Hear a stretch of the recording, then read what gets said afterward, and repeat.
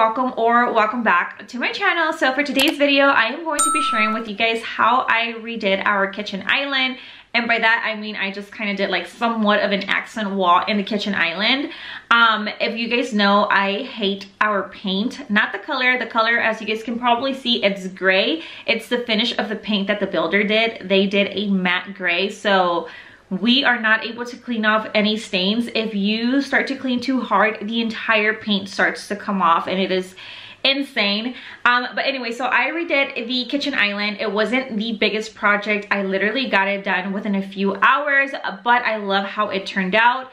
As usual pricing wise for the material i actually only spent 32 dollars on material which was pretty much just the md boards um mdf boards and then paint, I already had white paint that we used um, when we redid the powder room. So I just used that paint. So I didn't have to buy any paint. And then as you guys know, tools, I already have all the tools.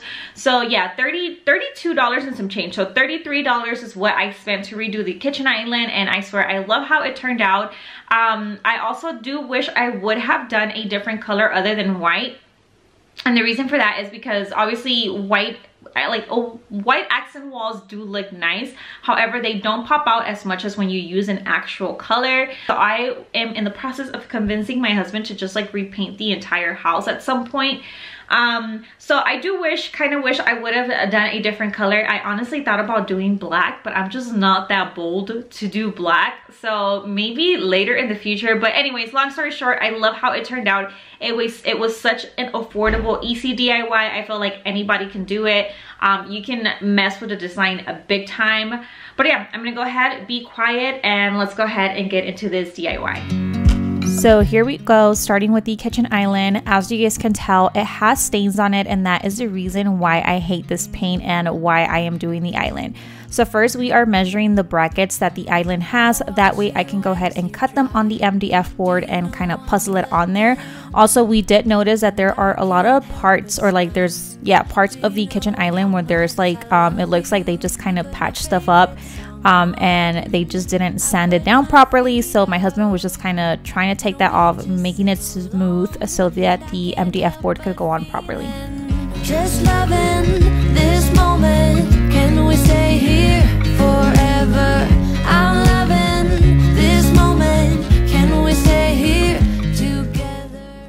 So then next I went ahead, took the board out outside, grabbed the jigsaw and then just cut out those pieces where the brackets are going to go.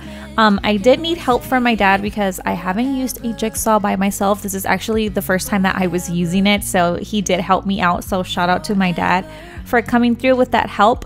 Um, for this specific project, you don't necessarily need a miter saw. I feel like all the cuts can be done with a jigsaw because it's not a big project. However, we do have a miter saw, so we did use it for like the actual edge cuts, but for the small ones, we did just use the jigsaw.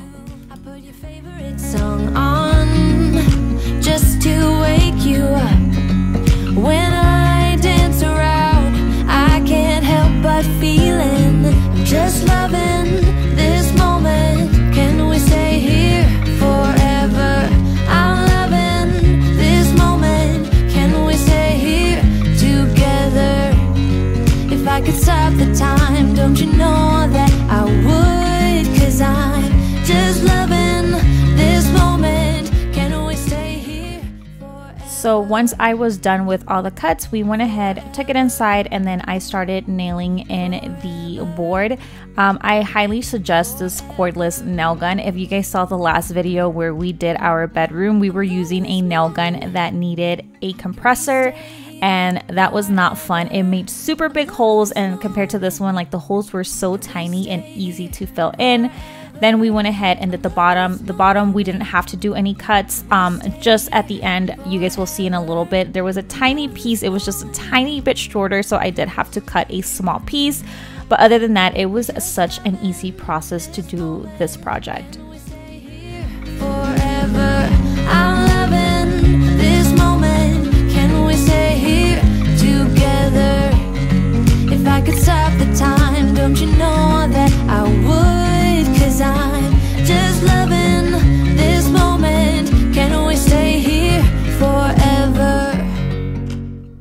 So then here we go, sideboards. Again, nothing special, no type of crazy cuts. All the cuts were completely straight.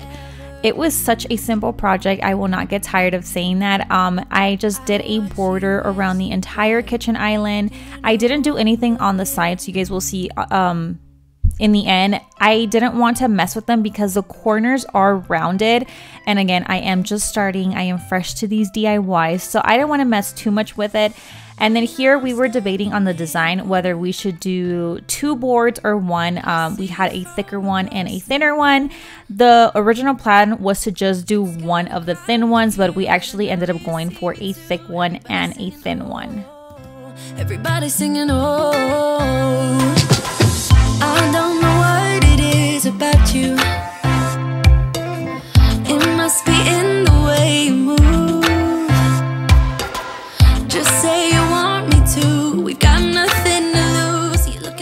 And then here I ended up just cutting a board kind of like this, well not kind of, but the size that I wanted the squares. If you guys saw the video where I did my bedroom, I totally learned my lesson as far as like doing these squares.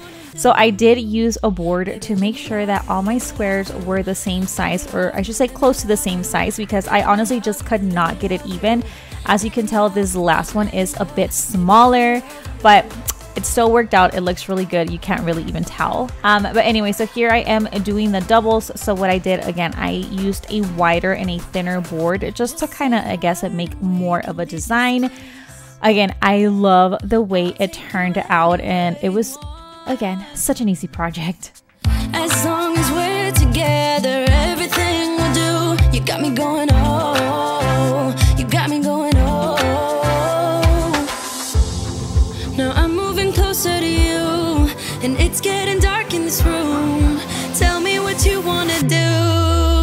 Baby, let me love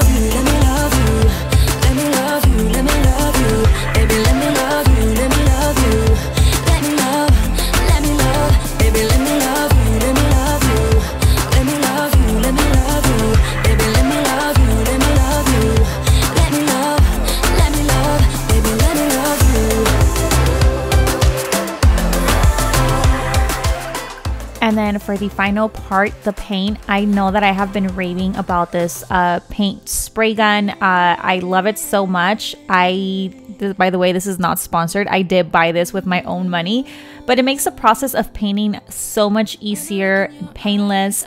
Um, obviously, you do still have to cover up some, but it does not make a mess to where like I needed to cover the entire thing. Everything came out so nice and clean. Again, I definitely recommend this sprayer. It feels like I'm drunk on you. It feels like I'm drunk on you. Oh! All right, so moment of truth, I'm gonna go ahead and show you guys how it looked before and then right after that, I will show you the after.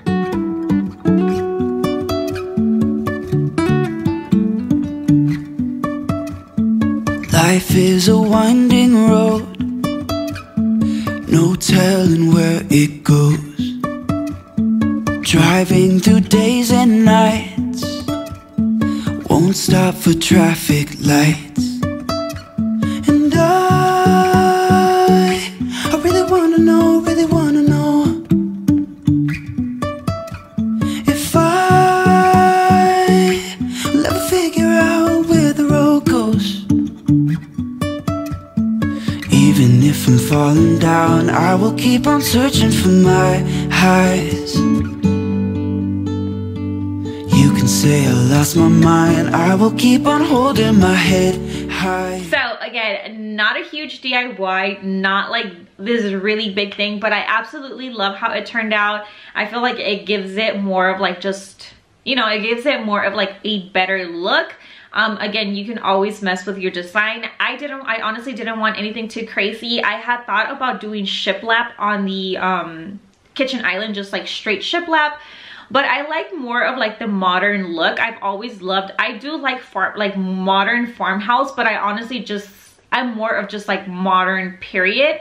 Um, so I didn't want to add shiplap. I just wanted to do something very basic, simple, more like on the modern. Um, side. But yeah, I hope you guys liked it and enjoyed it. As per usual, everything that I use will be linked in the description box below. If you guys have any questions, feel free to leave them in the comments and I usually always do my best to answer them. But yeah, I hope you guys enjoyed this video. Um, if you did, please don't forget to give it a thumbs up, subscribe if you haven't already, and I will see you in the next one. Bye.